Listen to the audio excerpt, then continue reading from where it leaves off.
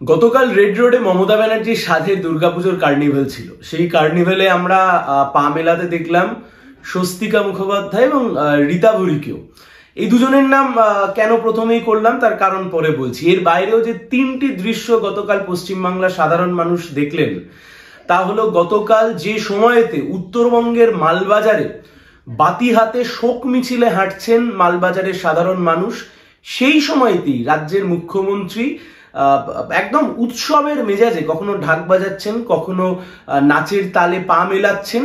আর ঠিক তার সাথেই যে রেড রোডে অনুষ্ঠান হচ্ছে, সেই রেড রোডের পাশে, যেখানে প্রায় পাঁচশো সত্তর দিন ধরে ধর্ণা অবস্থান মঞ্চ, যেখানে চাকরি প্রার্থীরা অবস্থান করছিল, সেই মঞ্চটাকে ঢেকে দেওয়া হয়েছে সাদা কাপড় দিয়ে। একদম ঠিক শুনছেন আপনারা আপনারা দেখতেও পাচ্ছেন এখন সাদা কাপড় দিয়ে ঢেকে দেওয়া হয়েছে যাতে গেস্ট যারা আছেন, সেই গেস্টরা যাতে না এই রাজ্যের বুকে যে দুর্নীতি, সেই দুর্নীতির যে চিত্র, সেই চিত্র যাতে না দেখতে পান, সেই অবস্থান মঞ্চ যাতে না দেখতে পান, সেই কারণে সাদা কাপড় দিয়ে ঢেকে দেওয়া হয়েছিল।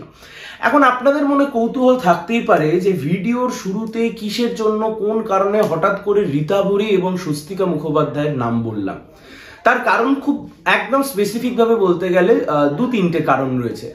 এক নম্বর কারণ, দেখুন টলিউড ইন্ডাস্ট্রিতে যারা যারা অভিনয় করেন এবং আমরা যারা যুক্তিবাদী, আমরা যারা যুক্তিকে ভালোবাসি, বাস্তববাদী, এবং এই সরকারের বিভিন্ন কাজকর্ম আমরা যারা দু হাজার এগারো সাল থেকে দেখছি যুক্তি দিয়ে বিভিন্ন টক শোতেও আমরা যাদেরকে কথা বলতে দেখেছি, তার মধ্যে স্বস্তিকা মুখোপাধ্যায় অন্যতম এবং অবশ্যই রীতাভরি অন্যতম। এবং সম্ভবত রীতাবরী তিনি সম্ভবত যাদবপুর ইউনিভার্সিটি স্টুডেন্টও বটে, আমি খুব ভুল যদি না করি। কারণ তার দু তিনটি ডিবেট দেখে তার যে যুক্তি, সেই যুক্তিপূর্ণ কথাবার্তা শুনে খুবই ভালো লেগেছিল স্বস্তিকা মুখোপাধ্যায় আপনাদের নিশ্চয়ই মনে আছে, যে সময়তে হোক কলরব হয়েছিল, যে সময়তে মমতা ব্যানার্জি পুলিশ পাঠিয়েছিলেন। মানে মমতা ব্যানার্জির সরকার যে সময় পুলিশ পাঠিয়েছিল ইউনিভার্সিটির মধ্যে, যাদবপুর ইউনিভার্সিটির মধ্যে, এবং সেখানে বেধড়ক মারধর করেছিল, রাত্রিবেলা লাইট অফ করে দিয়ে ছাত্রছাত্রীদেরকে। তারপরে গোটা পশ্চিম বাংলা গোটা কলকাতা গর্জে উঠেছিল, হোক কলরব নাম করে মিছিল বেরিয়েছিল। সেই মিছিলের একদম শুরুর দিকে যারা ছিলেন, তাদের মধ্যে অন্যতম ওই স্বস্তিকা মুখোপাধ্যায়। বিশ্বাস করুন, কাল থেকে এই প্রশ্ন বারবার মনে এসছে। আচ্ছা এই স্বস্তিকা মুখোপাধ্যায়, এই রীতাভরি চক্র, চক্রবর্তী সম্ভবত ওনার টাইটেল এনাদেরকে তো একদিনও আমরা ওই রেড রোডের পাশেই যে অনশন মঞ্চ, বা চাকরি প্রার্থীদের যে মঞ্চ, যে মঞ্চে প্রায় সাড়ে পাঁচশো দিন ধরে বঞ্চিত হওয়ার পরেও তারা অবস্থান বিক্ষোভ করছে, এই মঞ্চে তো একবারও আমরা তাদেরকে দেখতে পাই না।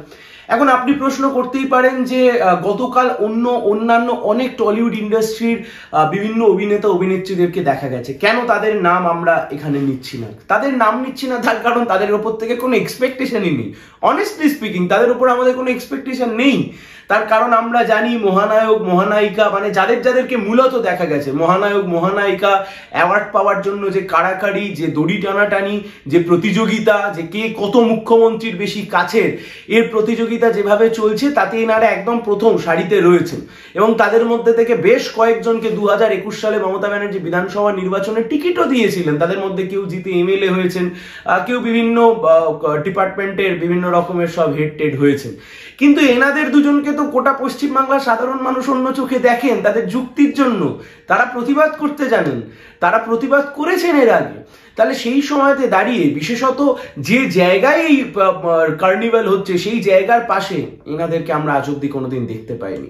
সবচাইতে বড় বিষয় কি জানেন? কবির সুমন, যে কবির সুমন দু নয় থেকে দু হাজার চোদ্দ সাল অব্দি তৃণমূল কংগ্রেসের যাদবপুর থেকে সাংসদ ছিলেন। সেই কবির সুমন পর্যন্ত গতকাল মুখ্যমন্ত্রীর কাছে অনুরোধ করেছিলেন যে মালবাজারের বুকের এই ঘটনা ঘটে যাওয়ার পরে আপনি মুখ্যমন্ত্রী, আপনাকে অনুরোধ করছি, আপনারা এই কার্নিভালটা করবেন না। কিন্তু মুখ্যমন্ত্রী তো মুখ্যমন্ত্রী, তিনি কেন কারোর কথা শুনতে যাবেন? তাই সেই সময়তে দাঁড়িয়ে রীতাবরী হতে পারেন বা স্বস্তিকা মুখোপাধ্যায় হতে পারেন, তাদের মনে একবারের জন্য কি বিষয়টা এলো না যে উত্তরবঙ্গে সেই চিত্র? এবার পরে রইল দ্বিতীয় কথা।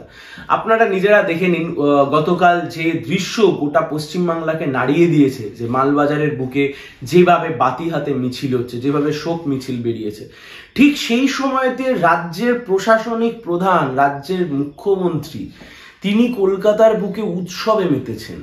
তিনি কলকাতার বুকে ঢাকের তালে পা- মেলাচ্ছেন। দেখুন, ঢাক বাজানো বা একটু নাচের তালে পা মেলানো, এটা কোনো অপরাধ নয়, এটা কোনো অপরাধ হতে পারে না।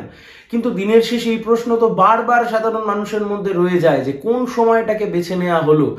যে সময়তে দাঁড়িয়ে মালবাজারের বুকে এতগুলো প্রাণ প্রশাসনিক ব্যর্থতায় মালবাজারের পৌরসভা যেভাবে তাদের তাদের যে ব্যর্থতা, যে ব্যর্থতার জন্য এতগুলো প্রাণ ভেসে গেল, রাজ্যের সরকার কার্যত নিরুত্তাপ, রাজ্যের সরকারের কুচ পরোয়া নেই কিচ্ছু যায় আসে না। আর এর সাথে সাথে গতকাল আমরা দেখলাম চাকরি প্রার্থীদের মঞ্চ পর্যন্ত ঢেকে দিতে হলো। আপনাদেরকে আগের দিনকে দেখিয়েছিলাম যে পশ্চিমবাংলার বুকে পার্থ চ্যাটার্জির দুর্নীতি নিয়ে পশ্চিমবাংলার বুকে দুর্গাপুজোর থিম হয়েছিল। মমতা ব্যানার্জি মঞ্চ ঢেকে দিয়ে অতিথিদের কাছ থেকেই গোটা রিয়ালিটিকে লোকাতে চাইছেন। কতদিন উনি লুকিয়ে রাখবেন?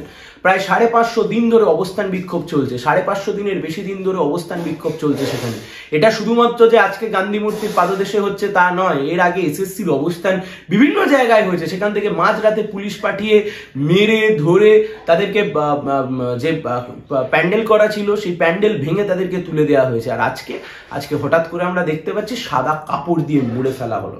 আসলে বারবার মনে পড়ে যায় হীরক রাজার দেশের কথা। হীরক রাজার দেশেতে রাজার মূর্তি যখন উন্মোচন হওয়ার কথা ছিল সেই সময়তে। তার আগে গোটা বস্তি সেই বস্তিকে উচ্ছেদ করে এনে একটা কাপড় মোড়া জায়গার মধ্যে ঢুকিয়ে দিয়েছিল, যাতে রাজ্যের কঙ্কালসার শূন্য অবস্থা অতিথিদের সামনে না দেখা যায়। আপনাদের নিশ্চয়ই মনে রয়েছে, যে সময়তে ট্রাম্প ভারতবর্ষ ভিজিট করেছিলেন, সেই সময়তে ট্রাম্প যখন গুজরাটে গেছিলেন, সেই সময় গুজরাটের সরকার বস্তির সামনে পাঁচিল তুলে দিয়েছিল, যাতে না ট্রাম্পের চোখে বস্তি পড়ে, যাতে ট্রাম্প এসে ঝাঁ চকচকে গুজরাট দেখতে পান, ঝাঁ চকচকে ভারতবর্ষ দেখতে পান। আসলে স্বৈরতন্ত্রে যারা বিশ্বাসী, তাদের যে ভাবনা চিন্তা একই রকম হয় তা দিনের শেষে দিনের একদম আলোর মতো পরিষ্কার। কিন্তু দিনের শেষে এই প্রশ্ন না বারবার রয়ে যায়, এই ভাবনা বারবার রয়ে যায় যে শেষে স্বস্তিকা মুখোপাধ্যায়, শেষে রীতাবলী চক্রবর্তীর মতো মানুষজনদেরকেও এই কার্নিভালে, এই দুঃখের সময়তে, এই যন্ত্রণার সময়তে তাদেরকেও পা মেলাতে হলো। যাক, ব্যক্তি স্বাধীনতা, পশ্চিমবঙ্গে গোটা ভারতবর্ষের বুকে সাংবিধানিক অধিকার আছে তারা তাদের সেই অধিকার হয়তো প্রয়োগ করেছেন। সবাই ভালো থাকবেন।